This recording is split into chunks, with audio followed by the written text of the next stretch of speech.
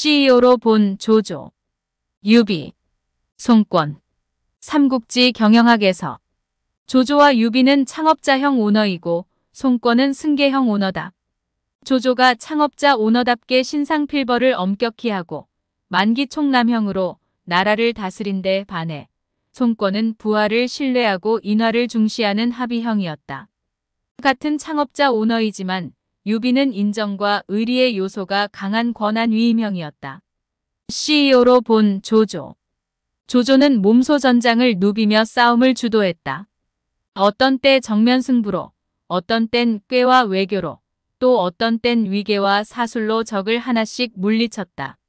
말 위에서 천하를 얻을 수는 있어도 다스릴 수는 없다는 말이 있는데 조조는 말 위에서 천하를 얻었을 뿐만 아니라 말에서 내려와서도 천하를 잘 다스렸다. 그래서 조조는 서양의 카이사르나 나폴레옹에 비유되기도 한다. 문무겸전이란 점에서 특히 그렇다. 카이사르나 나폴레옹은 전쟁에서는 출중한 장수였으며 정치가로서 나라를 잘 다스렸고 또 뛰어난 감성을 지닌 문인이기도 했다. 조조도 위대한 전략가이면서 정치가, 행정가이고 또 시인이었다. CEO로 본 유비. 위대한 경영자는 당장 손해를 보더라도 이상과 원칙을 지키는 배심과 결의가 필요하다. 적당히 타협하면 보통의 경영자는 될 수 있어도 위대한 경영자는 될 수 없다.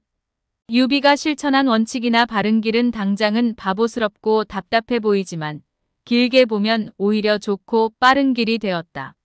제갈공명이나 방통 같은 참모가 좋은 계책을 건의해도 유비가 차마 인의상 그럴 수 없다고 거절하여 애를 먹고 답답해하는 장면이 많이 나오는데 길게 보면 유비의 판단이 옳은 경우가 많았다.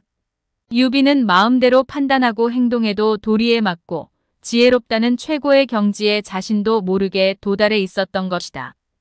유비야 말로 타고난 CEO라 할 수 있다.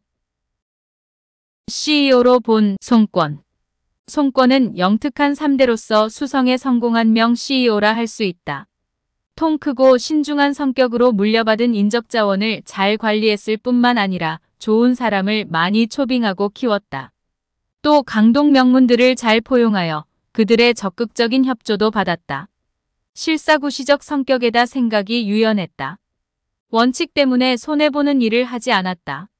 실리를 위해서라면 체면에 별로 구애받지 않고 신축자제하게 행동한 것이다.